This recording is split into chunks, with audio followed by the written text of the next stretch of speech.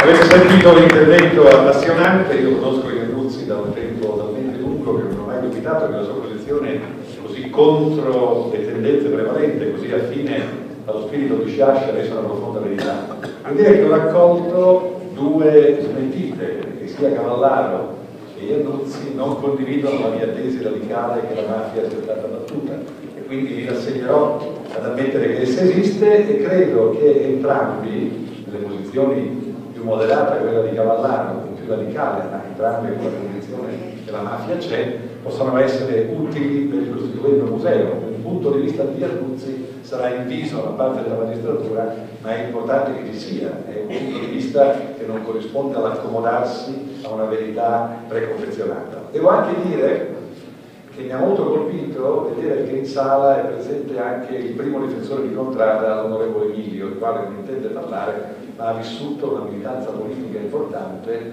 come toccò a me, nella scelta di una difesa di un uomo nella incertezza della sua colpa. Adesso arriviamo alla persona più importante rispetto al suo destino umano, che è stato il fondatore di Forza Italia, e prima di essere fondatore di Forza Italia era mafioso come adesso, soltanto che non c'era preoccupazione che lo fosse. È un po' come Andreotti che era mafioso fino al 1980 verso le 5 del pomeriggio, in un giorno di ottobre, poi dal primo novembre non si più mafioso. Cioè è una cosa che colpisce abbastanza della elaborazione molto abile di queste sentenze, nelle quali tutto è detto in maniera tale di confermare una cosa e negarla insieme. Io conoscevo Dell'Utri quando non era mafioso, mi sembrava uguale adesso, e però che certo nella fondazione di Forza Italia sia cercato ancora una volta con un intervento costruito sul piano ideologico di fare confluire l'ombra della mafia è forse anche una questione che riguarda il suo destino personale. Io parlo con sua moglie, se lui fosse rimasto a tutta Italia sarebbe stato mafioso lo stesso, ma non sarebbe stato condannato. Quindi io sono stato condannato, e il Corriere ne parlò in prima pagina, per una cosa che non si può dire. E infatti non lo dice neanche il nostro Iannuzzi, ha parlato di processo politico. Io rispetto al processo Andreotti ho parlato di sentenza politica. Benché imputato, sono stato condannato perché non puoi dire di un magistrato che fa una sentenza politica. Vuol dire che ha sbagliato, che è uno stronzo, vuol dire che tu mini il principio stesso della sua oggettività. Siccome uno che viene dal 68, e quando eravamo nel 68 eravamo tutti convinti che il capo della mafia fosse Andreotti, quando poi dal 68 divento magistrato, cerco di fare il processo che mi ha chiesto non Violante ma Pasolini, di processare il palazzo. E divento un eroe che applica quello che allora era la nostra battaglia nelle strade di studenti e diventa invece l'opera di un uomo.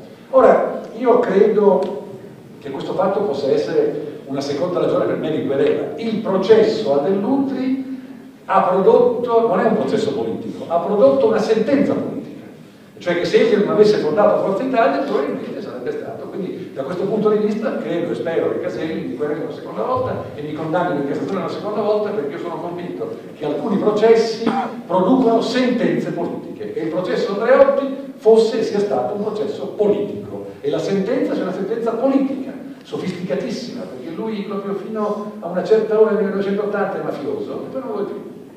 E siccome fino a quel momento c'è la prescrizione, io dico che sei mafioso e contemporaneamente ti assolvo.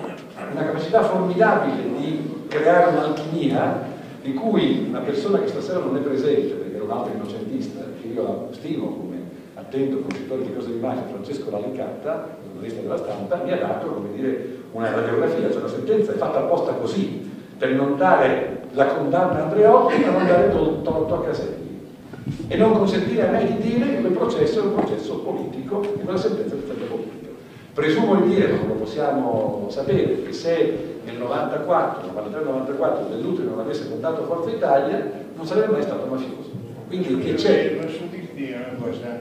No, questo che dice dopo la, le motivazioni della condanna di primo grado è assiomatico, è in sentenza. Ah, ecco. perché era cominciato con la storia dei quattrini, che lui procurava i quattrini della mafia a Berlusconi, hanno fatto le Dio, le perizie, eccetera, insomma non hanno cavato un ragno dal culo. Per cui nell'ultima fase, e il giudice che ha condannato ha recepito, la tesi della procura, esplicitata dallo stesso ingraio, è semplicissima e non è più la storia dei quattrini.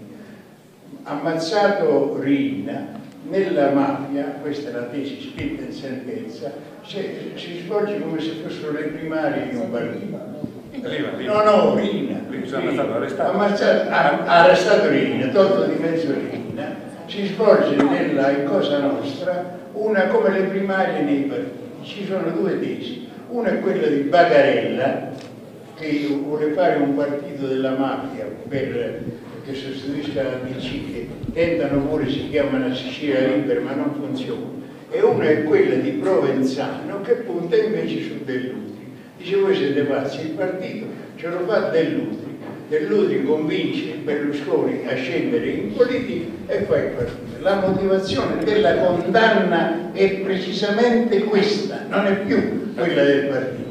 Dell'Utri è condannato per concorso, tanto è vero, perché qui c'è una forte contraddizione, che lui è costretto a dire perché glielo fanno, glielo fanno notare gli avvocati, sì effettivamente a questo punto si può passare dall'accusa di concorso all'accusa di mafia, di associazione mafiosa, e chiaramente un'associazione mafiosa tra Dell'Utri e Provenzano che dà la nascita a Forza Italia.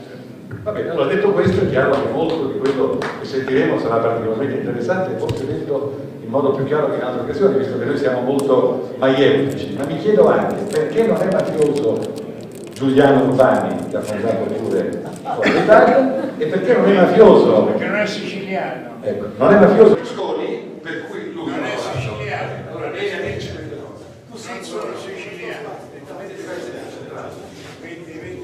io posso accedere in Sicilia.